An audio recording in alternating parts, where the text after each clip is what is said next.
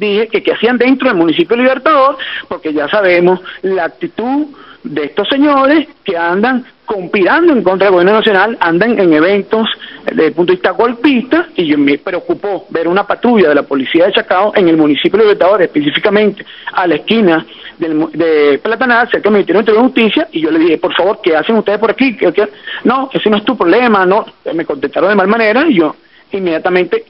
respondí de la misma manera, yo bajé, me bajé el vehículo, ellos se bajaron, un intercambio de palabras, ellos eh, sacaron su arma de fuego, yo también, porque yo estoy armado, tengo permiso por el DARFA, y se presentó una situación bien difícil ahí, me aprendieron, yo bajé el arma, puse el arma encima de mi vehículo, ellos sacaron el arma, me aprendieron, me golpearon, me metieron contra el piso, golpearon a mi esposa, eh, de hecho tiene unos moretones en el brazo, y de ahí me trajeron a golpes eh, de manera eh, brusca, eh, violenta, en una patrulla de la policía en Chacao, aquí a, a la sede de, la, de, la, de dicha policía. Pues.